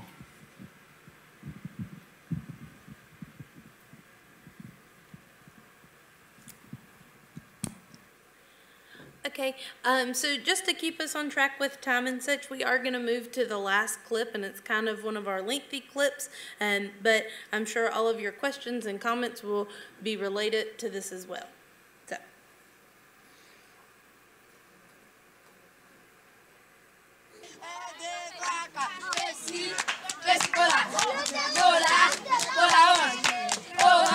My name is Corrigan Clay, and my wife Shelly and I moved to Haiti in 2008 to adopt a child, and we were thinking at the time that we would probably start up an orphanage also. I saw a picture of a little Haitian kid on the internet and fell in love with the idea of Haiti and a child from an orphanage and being able to give a parentless child um, a family. So today, Today, we met Whittleson for the first time and he gets to stay with us in the hotel in Port-au-Prince, Haiti. Uh, or somewhere near there. And he's my new brother. Yeah. As we were pursuing adoption, the orphanage director had asked us if we wanted to meet the child's mother. And we were kind of surprised because the thought was, well, wasn't he abandoned by somebody or didn't he lose his parents, or that kind of thing. The director of the orphanage said she comes to visit him every couple weeks. I was shocked and I, I said, you know, why does she come to see him? And he said, well, she loves him and she wants to make sure he's okay and she brings him gifts and things. Then when we met her, I asked her, you know, why did you bring him to the orphanage? And she, she said, I just didn't have enough money to feed him. I didn't have a good place to live. I was in Cité Soleil. There's like gangs and, and violence. And so the orphanage was the best solution for him. So we asked her if, if you would have had a job, would you have kept your child? And she said, of course I would. Yeah. And it was like this this shock, you know, of I'm spending twenty thousand dollars on this adoption to be able to raise a child that this mother wants. And the injustice of that really took me. Began to have conversations with the families of these children and with the children themselves. In the orphanage we were in, there were 24 boys that we were taking care of at the time. Two of them did not have living parents. As we started to learn about other orphanages too and ask questions and things, we, we found out that was fairly typical. That I would say conservatively, roughly 80% of the kids in orphanages in Haiti are not true orphans, but are poverty orphans.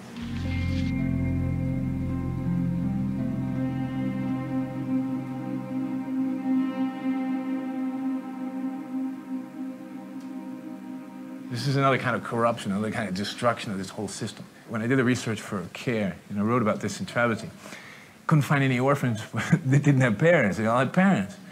And when you really get into it, well, of course they have parents because orphans are a coveted position. It's school, it's books, it's maybe even a visa, maybe even an adoption. But it does perverted things at the lower level of the system, you know?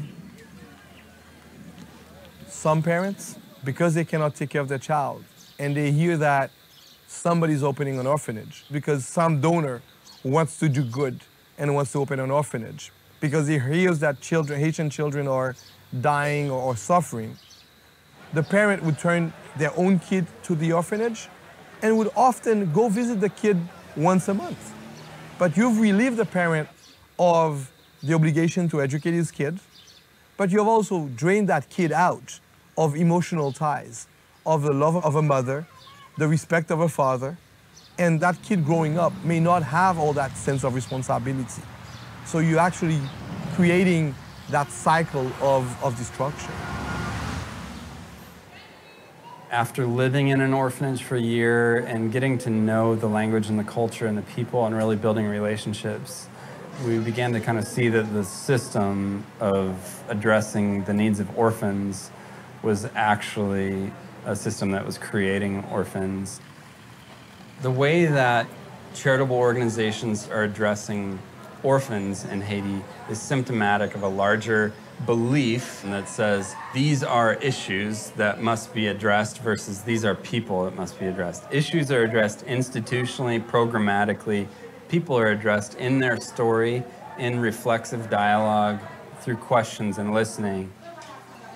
There was one child in particular in the orphanage we worked in that when his adoptive family was coming to visit, I asked him, hey, are you excited? I mean, your mom and dad are coming. And he goes, they are my mom and dad. I said, oh, well, I know they're not yet, but they're, they're going to be. They're adopting you. They're going to be your family. He's like, no, they're never going to be my mom and dad. This child was about 14. He said, no, my mom and dad are here in Haiti. I know them. My Haitian parents told me that I'm like the special kid in the family that I get to go to the orphanage. I'm just going to go to the United States with these people, but they're not really my family. I said, well, you know, their expectation is that you're going to be a part of their family. And they're pro they'd probably be really hurt to know that you have no intention of really being a part of their family. We've adopted two Haitian children, Jackson and Ember. Ember's mother died after childbirth, and Jackson's mother abandoned him at the gates of the orphanage. She came with him and then was supposed to bring back papers relinquishing him, but did not. This is Jackson right here. Um, he's, he's a big boy, but when he, was, uh, when he was in the orphanage, he actually almost died of starvation twice because this institutional approach at caring for kids, they were just plugging him with a bottle and they didn't know he was lactose intolerant. And so he was throwing up all his food and, and just almost, almost died twice, had to go to the hospital. And obviously now he's eating just fine. How are you doing, baby? We're advocates for adoption. It is broken and not right that a kid would grow up without parents. That's the very same thing that influences us to say, don't get involved with orphanages and adoption that are separating kids from their parents. If I was in a personal financial crisis and I could not feed my child, I could no longer pay for their school supplies or for them to go to school, I didn't have enough money for them to ride the bus, whatever, and somebody from some other nation came in and said, hey, you know what? We've got a solution. What we'll do is we'll set up a, a, a house where all the kids that have that problem can come live. They're not gonna be your child anymore. You're just gonna have to give them to us, but we'll make sure they have everything they need. Is that the solution that you'd want? And I think most honest people would say, no, I wanna raise my own child. I just need a job. I need some way to make some money, and I'm gonna take care of my kid.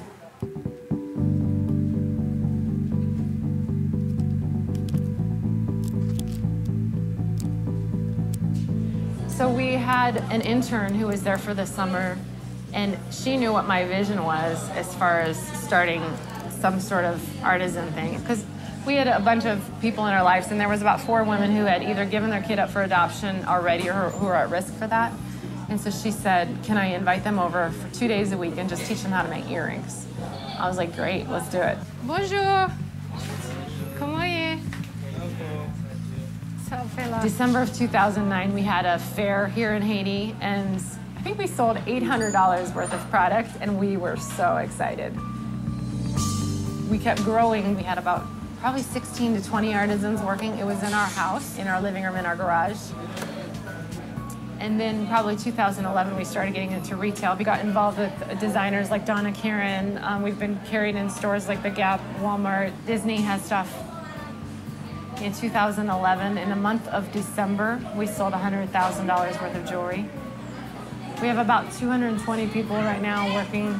My vision is a thousand people.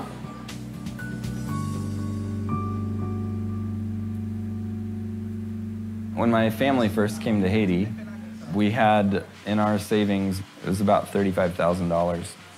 I thought that we'd start an orphanage and then be asking people to help us sustain that. So it would be this constant need for help. Because we started a business, now the amount that we came with, that's the amount that we're averaging in income for our artisans every month.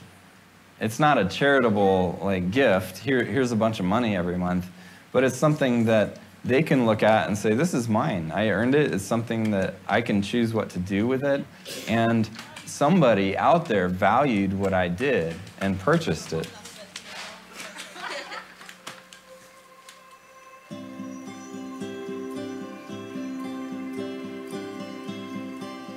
Maculin wa- is a miracle story for me. I was walking home one day and walked up to my gate, and there's this woman sitting on the ground in the dirt with a baby in her arms. She was covered in scabies. Her baby's covered in scabies. They hadn't eaten. She came here looking for an orphanage. The last thing I wanted to do was send her to an orphanage. And I said to her, you know what? I'm going to make you a deal. Go get all your kids, come back here, and I'm going to invite you to work with us. And I'm going to just try it. Here she is in Port-au-Prince with her kids. She's not making any money yet, so she goes to live in a tent. Avè tou mwen mèm, lèm te wè m devin nan tot nan, mè bremye skay m de ya. M vin wè, m sel di piye skay pou m aviv ak ti moun yo. Paman vin de, tot nan vwèman chou. Li vwèman chou, li fè moun malade, li bayi tout maladi. Vwèman pa aviv alèzi. Her kids were in a horrible situation, but she started to work. And she is an amazing woman. She's an entrepreneur. Within about three months, she had probably 10 employees of her own. She was talking about needing a house. I said, I don't have money for a house for you, but let's break it down into something that you can imagine. I said, if you need $2,000 for land for your home and you're getting $12 on a necklace, how many necklaces is that? It's less than 200 necklaces. And her brain just about exploded. I mean, you could see this click in her mind, her eyes opened up, and she's like, I can make 200 necklaces, that's not a problem. And it was about six months or something, and she bought her own property. M'achete yon te ki um gen de ti chanm sou li. M'achete yon te ki um gen de, de ti chanm kay sou li. Kon ya il adam ye mba vit nan tat ankor. She did it herself. It's two bedrooms, it's her own. She never has to pay rent again. And she's now changed her life. On gwo bay de mi paske vreman malerez, maman mwen sou kont mwen, mwen gen sem epi tout fami mwen sou kont mwen tout. Epi si mwen moun pa gen, si map travay, bon djek fe map travay, fwa mwen ka ede moun di pa gen. Ndan remen pou ti moun yo ta fini l'ekol, epi pou ti moun yo ta ka vinon bagay de demi, yo ka pa kap ave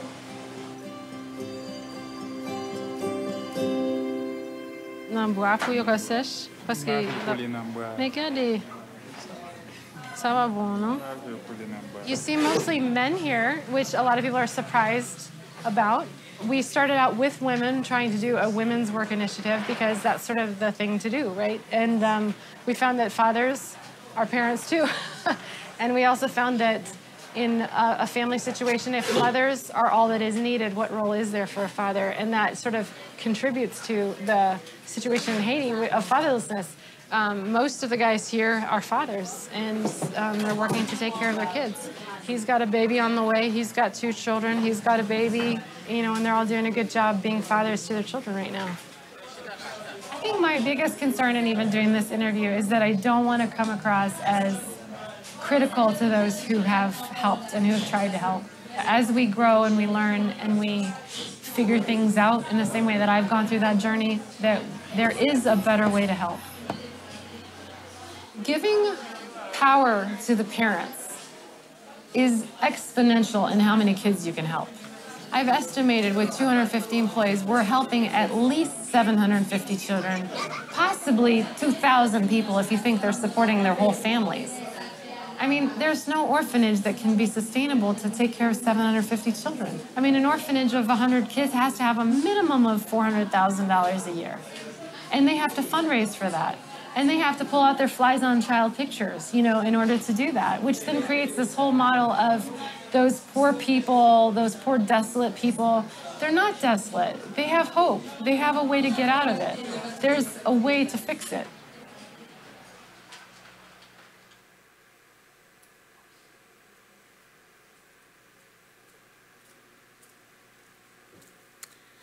What a clip. So we'll start with you, panelists, and then um, move on to the audience.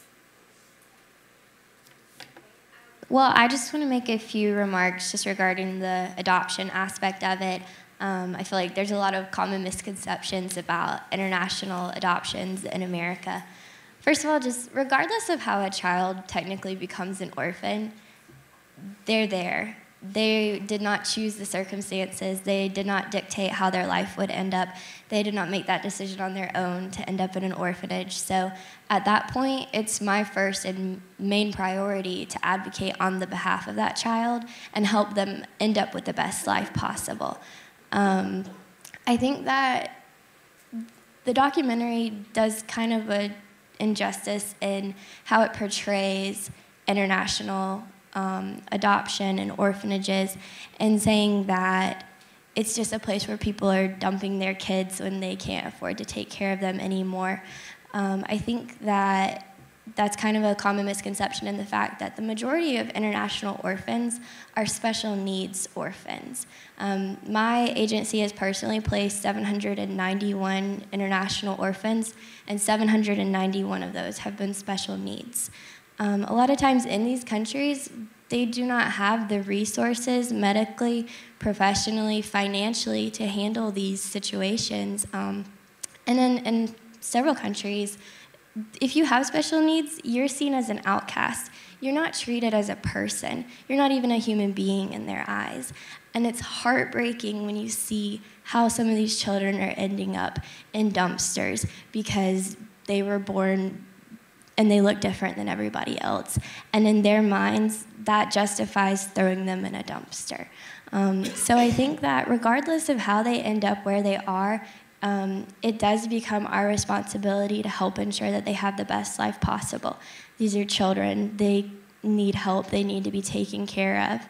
Um, I think also the fact that they discuss kind of the injustice of the cost of international adoption.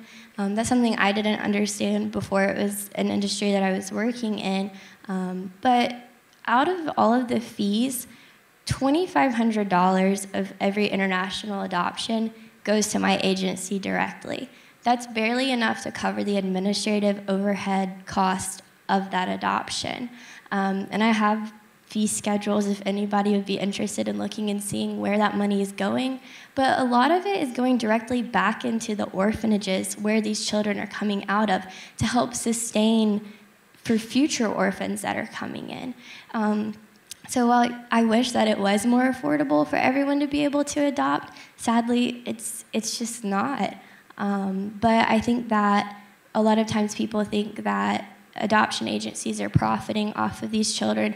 And while I'm sure it's some are, um, that's not the general consensus in the United States. Um, another point that I wanted to make was just that here, if you become pregnant outside of marriage, it's we accept it. Um, in many countries, if you become pregnant outside of wedlock, you're seen as a shame to society. Um, you'll never be married, you'll never be able to have a job. And so that's something that women are facing there, um, that it's a shameful thing, and they're having to hide this from people. So I think that while, yes, um, there are some broken pieces of the system. I think that overall, um, international adoption is a positive thing and that we should to continue contributing to the efforts.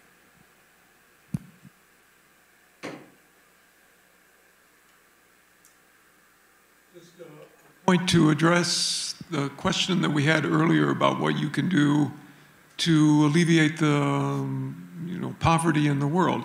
Well, this American couple has gone to Haiti and yeah, they've established an orphanage, but more importantly, they've established a business that uh, projects 1,000 employees um, sometime in the future. So they've provided uh, a way of people to work themselves out of poverty. And, you know, economics, we talk about multiplier effects. So those thousand people are earning cash that will be spent in all the little communities and all the little shops, and, and that causes an economy to grow. So if you're looking for some way to concretely help the poor, other than you know sending your money off to some aid agency, you know, go to a place and you know you don't have to dedicate your life like this American couple apparently has done, but uh, some kind of a volunteer organization, and this is the way that that uh, that moves people out of poverty, get them employed uh, and uh, have the multiplier effects reverberate through their communities and ultimately bring the entire uh, poor uh, of that country into a middle class. Uh, yeah, this was one of those clips with the tone that implied that if only those aid company, aid organizations would just get out of the way, and that um, suddenly entrepreneurship would flourish and poverty would be solved. And uh, as Dr. Sumedra just said, it's a good thing for an economy to have a successful business that employs people. This is not news or rocket science. It's an American, seemingly middle class, I think, to start with company, uh, uh, uh, start, uh, excuse me, uh, middle class couple coming from America with uh, clearly with connections in America that started a business and started employing undoubtedly very, very cheap labor in Haiti to produce a very successful product. And that's great. And for everyone they're employed, and then hopefully a thousand, wow, a thousand, that it's shocking, I know, but it's better to have a job than not have a job. You know, employment is good. But none of this in any way sort of supports the overall thesis of the documentary at all. Uh, it's just, yes, it's good to have successful businesses in your economy, that helps. It's better to have employed people than unemployed people. That also helps. Uh, so uh, this, uh, if you look beyond the sort of uh, to me, slightly nauseating music and the beautiful smiles of the people there. Uh, all you have is essentially, yes, starting businesses and employing people helps an economy. Having a job helps you out of poverty. This is not particularly shocking.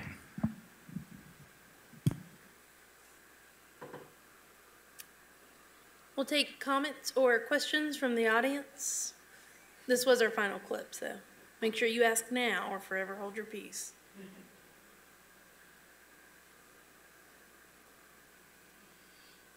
No comments? No, Did oh, this do we- anything for you? Just watching this? Stream the actual film on Netflix. Watch the entire hour and a half and learn about the developing world a bit. That's something that we need to do here in Southwest Georgia. We need to be a bit more globally oriented. That's what these programs are about. One, one second, Dr. Spear. Um, would you say that uninformed people, like we have currently been informed about all of these issues with certain aid organizations, would you say that those people who do not know this information are more inclined to give to organizations that uh, give uh, quote unquote immediate effects like food and shoes? Did this earlier. Um, again, it's that consumerist model. I I have money I want to give for some you know something good.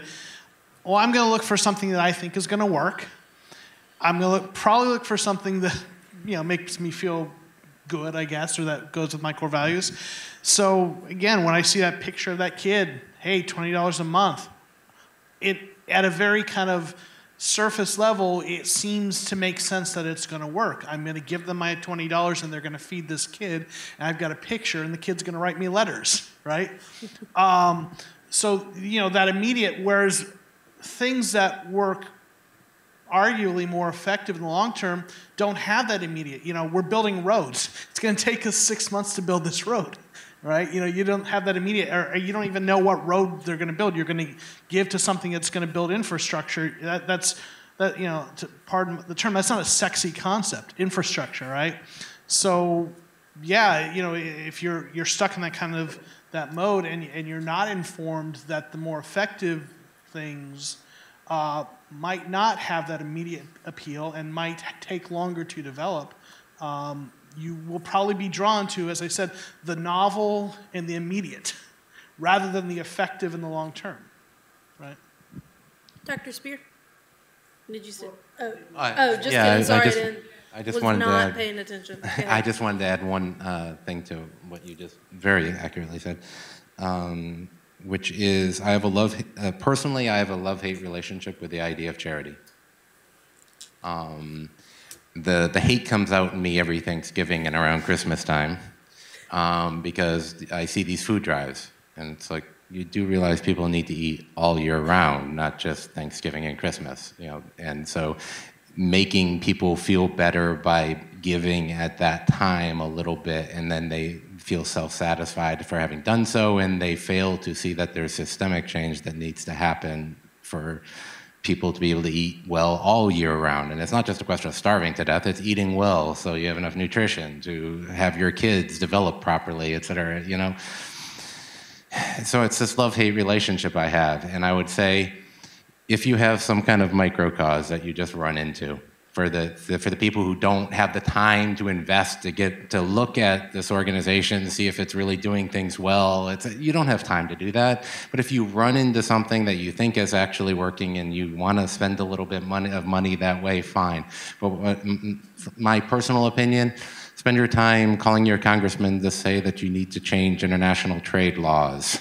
Um, you might not know anything about that but just tell them you care that you think there's exploitation going on between uh, you know the current system of the way the IMF was working, and you know you can you, it doesn't take much searching to find so many problems that are systemic that you could just act politically rather than just give a little money. So give a little time rather than give a little money is my advice when you don't have the time to research, hey, what's going to be effective?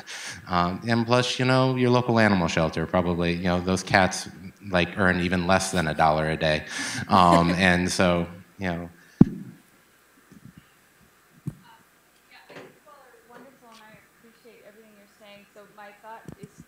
Thanks. Sorry. Would be coming back to how is it then? How is it possible then that we live in one of the poorest counties in the country and we have generational poverty a mile from here, five blocks from here, why is this, um, and I don't have an answer, why, so I'm just curious, why is that? How can we let that be? And I'm all for local to global. I am a global, you know, global educator, but here we are, and we have this right where we live. And I find that to be the most frustrating. Right. Uh, I mean, Americus used to be one of the richest hubs of Georgia. It was the decline, I believe, at the beginning of the 20th century, you saw the decline of the local agriculture structure. Uh, and I mean, we had a nasty pestilence that came through here. Um, and then you had the destruction of small time, uh, small farming communities. Uh, and uh, you uh, you know, if you look at rural, uh, you know, so there are specifics to America, certainly. Um, if you're just talking about rural America in general, um, I could get all political um, and say uh, there's often resistance to development. Um, essentially, entrenched interests don't want to be threatened. Um, and so, uh, you know, you see that across the entire country, not just here. Uh, but yeah, I mean, if you look at the listings, uh, there's like a uh, you know, if you look at our congressional district, it's like us and someplace in like the Dakotas or something like that, and like another place. Uh, they're like the poorest congressional districts in the country. Uh, and yeah, um, uh, you have a lot of systemic problems, you have a lot of historical problems uh, uh, associated with the decline of the railroads in the area and the, the, the, agriculture. Um, trade just stopped coming through here, um, et cetera combine that with the politics.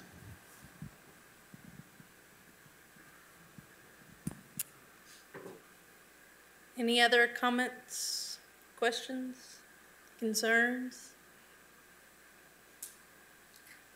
Panel?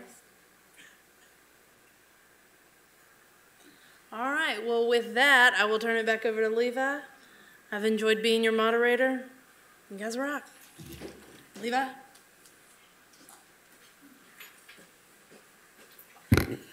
Well, first off, I want to thank you all for coming out tonight and bearing through this two hour program that I know a lot of you weren't looking forward to.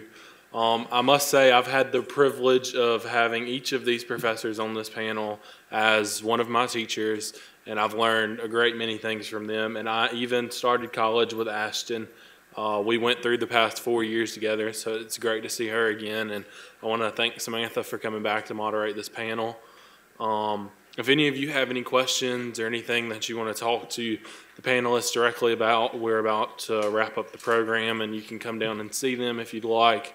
Um, also, if you're here for the Windows to the World program, it's my understanding we have two stations outside each door. Um, so go make sure you get your card swiped and you get your credit. Um, but yeah, thank you all for coming out tonight. Um, I know the weather's kind of bad, so be safe on your way home.